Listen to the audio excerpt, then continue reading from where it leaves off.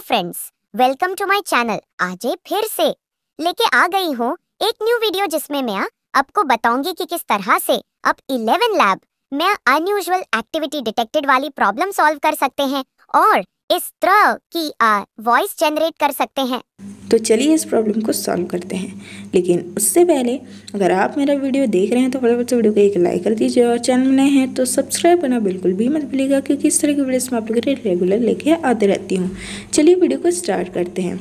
Video बिल्कुल भी skip मत करिएगा क्योंकि मैं शुरू से शुरुआत कर हूँ। सबसे पहले हम लोग इलेवन लैब्स में गए, उसके बाद गेट स्टार्टेड फ्री में गए, उसके बाद आपके सामने कुछ इस तरह का इंटरफेस देखने मिलेगा।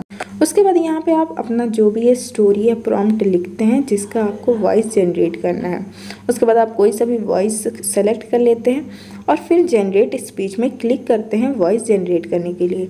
लेकिन यहाँ आपके सामने कुछ इस तरह का इंटरफेस देखने मिलता है, जिसमें अनयूजल एक्टिविटी डिटेक्टेड बताता है।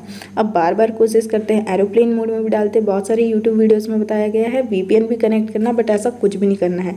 सिंपल सा ट्रिक है, अगर आपके पास जियो का सिम है, तब ये बहुत, यही प्रॉब्लम आ रही होगी, ठीक है? तो आपको एयरटेल का सिम चाहिए या फिर अगर आपके घर में किसी के पास भी एयरटेल का सिम है तो उनसे आप हॉटस्पॉट ले लीजिए और फिर उनसे कनेक्ट मतलब वाईफाई से कनेक्ट कर लीजिए।